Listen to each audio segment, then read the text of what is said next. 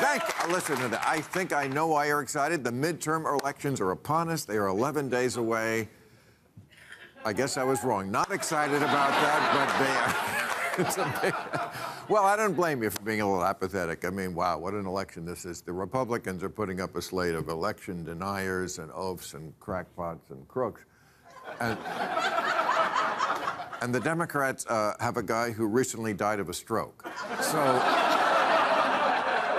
no, uh, it's, no, not die. We're, we're, not making fun. But if you saw that debate in Pennsylvania, the Dr. Oz against John Fetterman, uh, he did recently have a stroke, uh, Fetterman, and he is still a little shaky. Uh, that debate, ooh, uh, neurologists call that condition Herschel Walker.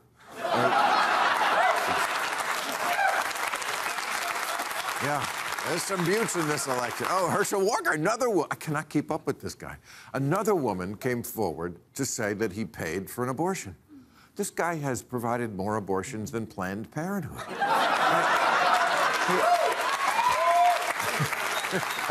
There's a one of the popular costumes now for kids in Georgia is that the kids go out with a ghost costume and a sign that says Herschel paid for this.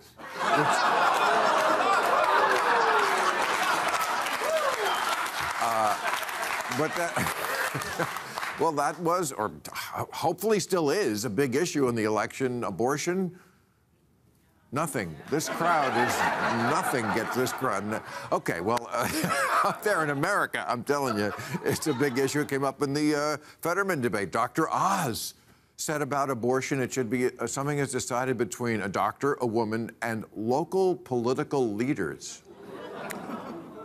Well, this is going to be new for women. Uh, yeah, the mayor's office. Yeah, listen, uh, I missed my period. Um, yes, I'll hold. but the big news in uh, the uh, tech world Elon Musk has now taken over Twitter.